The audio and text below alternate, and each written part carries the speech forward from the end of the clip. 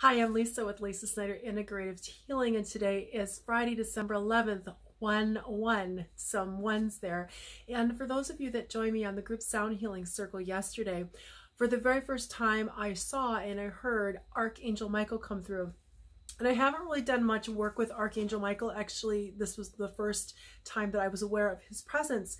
And when I did a little research, I found that ones come through with Archangel Michael, uh, just from the little bit that I researched.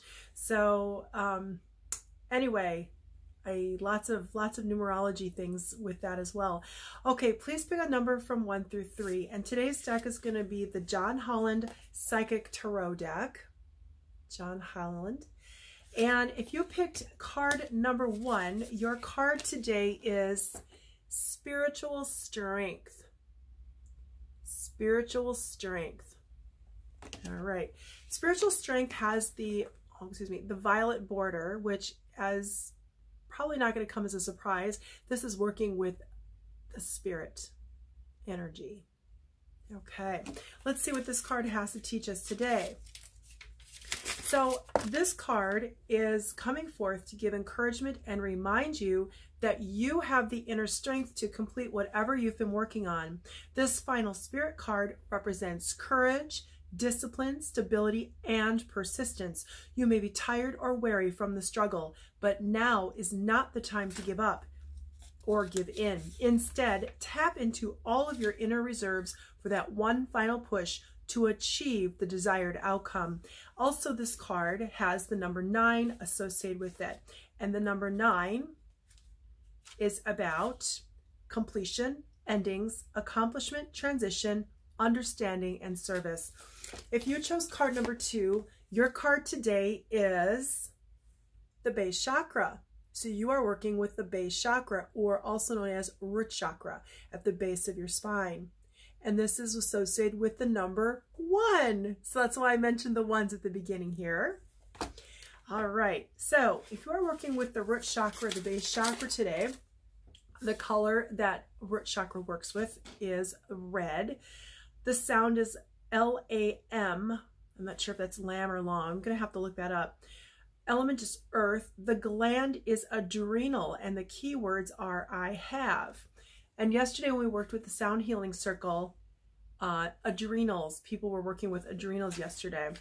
Known as the base or root chakra, this energy center is situated at the base of the spine and is most closely related to all of your earthly issues, such as survival, the physical body, issues of money, sustenance, safety, and shelter. To balance the chakra, practicing yoga can be extremely beneficial. Dancing or light physical exercise will also help keep the energy flowing and harmonious. Honoring your body and taking care of it on the outside will bring you well being on the inside. It works both ways. And the number one talks about beginnings, initiation, leadership, self, courage, and willpower.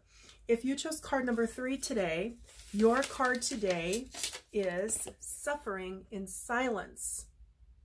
Suffering in Silence. This has the indigo border, so this is working with the mental field. Suffering in Silence. This is also the number nine. The number nine denotes completion. Are you finally ready to let go of those limiting negative beliefs or are you allowing the issues in your life to become bigger than they really are?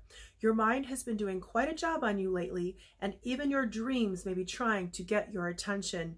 When you learn to let go of the worry, despair, and sense of hopelessness, a positive new way or path will be shown to you. This card follows Trapped in Fear, the number eight mental card. When your fears aren't confronted, your mental anguish will continue.